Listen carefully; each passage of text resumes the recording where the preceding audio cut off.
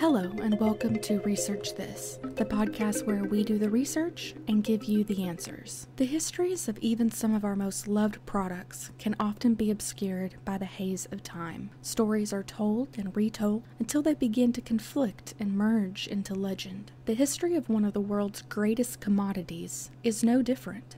The legend begins with a man named Kaldi. Some say he was a 9th century Ethiopian, other accounts claim he lived in 15th century Yemen.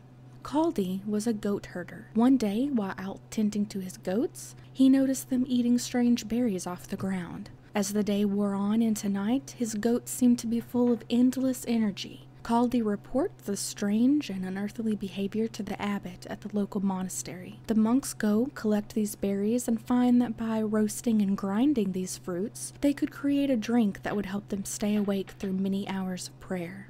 This miraculous drink then makes its way to the king, flourishes among the aristocracy, and finally is traded and transported around Arabia and eventually into Europe. In reality, the coffee tree most likely began to grow in eastern Africa. Ethiopian hunters would consume the berries of these trees to help stave off hunger and give energy on hunts. These berries would travel from Ethiopia across the Mandeb Strait and into Yemen. Once in Yemen, the berries of the Coffea arabica plant were roasted and ground. This mixture, first made in the 15th century, is now known the world over as coffee.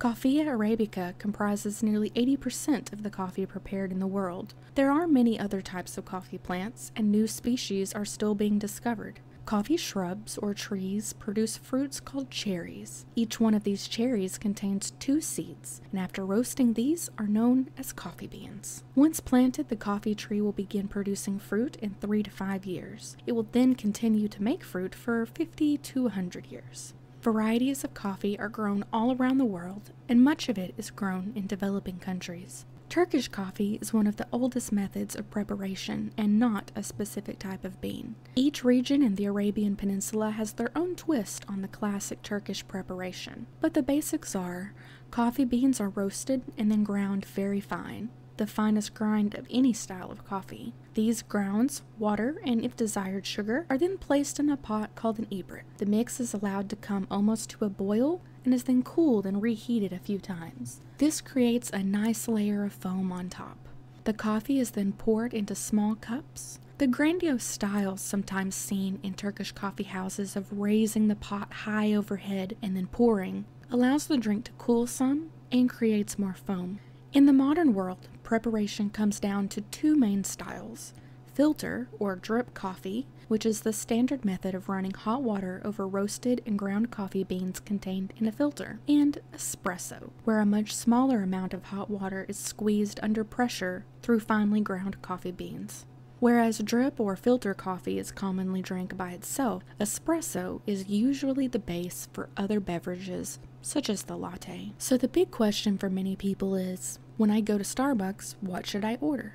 And if you have little familiarity with the coffee house terms, it can be overwhelming. The best advice I can give is to search out your local area for coffee houses loved by locals. Even small, out of the way locales, you can find coffee houses ran by people who are both knowledgeable and passionate about coffee.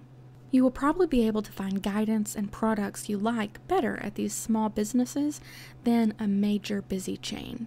I'm of the opinion that Starbucks over roast their beans for the sake of consistency, and this can push people away from learning about the remarkable variety of coffee and into overdone dessert like lattes and mochas. Don't be afraid to be a novice wherever you go. Starbucks baristas, and indeed baristas in general, have picked that profession because they are passionate about helping people discover new and exciting variations in coffee. By asking to sample products and giving descriptions of things that you like and don't like, they can help guide you to the drinks available that suit your taste. But if you want to order like a pro, while at the same time filling your need for caffeine, there are some simple tips.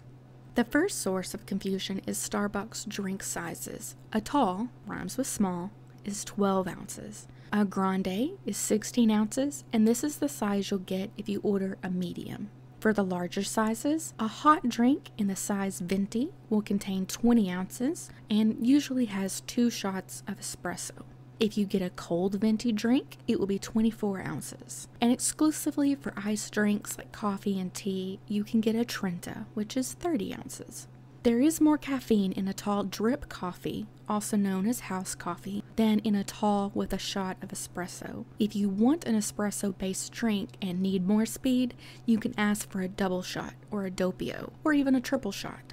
For a basic experience and a great place to start, order a drip coffee. Starbucks has three roasts available nearly all the time a light or blonde roast, which is the mildest flavor with the most pronounced acidity. A medium roast, which at Starbucks is nearly always their Pike Place blend. Medium roast typically is the most balanced of the roast, and it has a great mix of natural flavor and sweetness and acidity. Starbucks and many coffee houses will also offer a dark roast, which has a deep, almost charred flavor and a mild oiliness. Starbucks medium roast is closer to a dark roast in many local coffee shops, so if you seek out some of those great local places, you may be surprised at the diversity and flavor of a medium roast. You can get a drip coffee for a reasonable price anywhere and customize it with your choice of milk, sugar, or flavored syrups.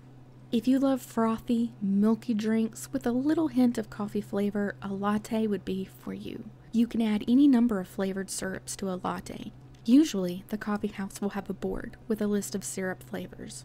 Vanilla is a great place to start, but don't be afraid to branch out and try new, interesting flavors. Starbucks puts three pumps, which equates to three quarters of an ounce or one and a half tablespoons of syrup in a tall latte. This creates a drink that is mostly milk with a 30 milliliter shot of espresso, a medium sweetness and flavor, and a small layer of milk foam on top. If you want to ramp up the sweetness into dessert territory, you can ask for extra pumps. A cappuccino takes the same base as a latte, espresso, milk, and milk foam, but with altered proportions. Whereas a latte will be mostly milk, a standard cappuccino will have a 50 50 split of milk and milk foam with a shot of espresso. If you want more foam and less milk, you can order your cappuccino dry, or if you want mostly foam with just a splash of milk, extra dry. You wouldn't, however, order an extra wet or a light or no foam cappuccino, as that is essentially a latte. As with a latte, you can add flavored syrups to your cappuccino. The cappuccino at Starbucks will get one less pump of syrup as a latte due to the reduced overall volume of the drink. The sweetness and flavor of your cappuccino can be altered by adjusting the syrup. If chocolate is your flavor of choice, order a mocha. Mochas have a base of bittersweet to semi sweet chocolate syrup with a shot of espresso and steamed milk. Mocha also typically comes served with a whipped cream topping instead of the milk foam found in a latte. If you want more sweetness or chocolate flavor, you can ask to have additional chocolate sauce added to your drink, or at least at Starbucks, you can ask for chocolate walls, which means they'll drizzle the cup with chocolate sauce before pouring your drink. If you want to cut the sweetness and save a few calories, you can ask for no whip, or you can ask for foam no whip to remove the whip topping and replace it with milk foam. For those of us who try to watch our weight and sugar intake, these specialty drinks can really pack a punch. A tall, which is 12 12 ounces, unflavored latte from Starbucks has 150 calories and 13 grams of sugar. Adding syrup adds another 5 grams of sugar per pump, so 15 grams added sugar for a standard tall latte. A tall vanilla latte from Starbucks has 200 calories and 27 grams of sugar. However, many coffee shops, including Starbucks, offers light or skinny options of popular drinks. These usually substitute sugar-free syrup non fat milk, and leave off any whipped cream or added toppings. A tall, skinny vanilla latte at Starbucks has 100 calories and 12 grams of sugar. The last step in ordering like a pro at Starbucks or anywhere else is what order you should say all of these words in. So here is some advice straight from baristas themselves. First, order your food. If you are getting a pastry or a sandwich, this will take the longest to prepare, so get this order in first so it can be worked on while you finish with your drink order. Next, let your barista know what size drink you want and if you want it hot or iced. If you order a drink that's classically served hot, such as a latte or a mocha, and don't specify iced or hot, you'll get a hot, and the same goes with tea. Now, finally, you're at the core of your order. You let your barista know how much and at what temperature, and now they need to know what you want in your drink. An easy way to do this is to list any variations first, followed by the name of your drink. If you need decaf instead of regular coffee, lead with that. Then mention the type of milk, any additional shots of espresso or pumps of sauce or syrup, then any additional flavors of sauce or syrup, any extras such as whipped cream or chocolate chips on top, and finally, end with the name of your drink. While this can sound counterintuitive, it can make it much easier for you to translate exactly what you want with minimal confusion to your barista. Some local coffee shops may prefer orders in different ways, and as you frequent these shops, you can simply ask, You made this perfect. How should I order it next time?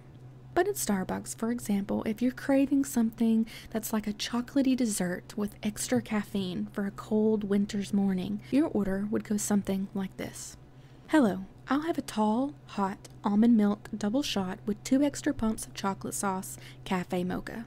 And this would get you a hot drink made with two shots of espresso, almond milk, heated, then mixed with a total of five pumps chocolate sauce and topped with whipped cream. For a basic cup of coffee that you can add your own milk and sweetener to, you could order like this Good morning. Can I please have a grande Pike Place with room? And you'll receive a 16 ounce cup of medium roasted coffee with space in the cup for you to add some half and half and sweetener of your choice that's found at the bar in nearly every coffee shop. If it's a hot summer's day, you might try a venti iced unsweet green tea, and this will get you a mammoth 24 ounces of refreshing green tea without any added sugar or calories.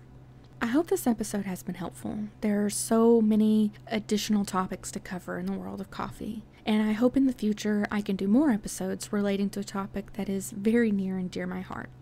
If you have topics you would like for us to research, you can find us on Twitter at ResearchThisPod or email us at researchthispod at gmail.com. Until next time, may your drinks be sweet and your mind be full. Thank you.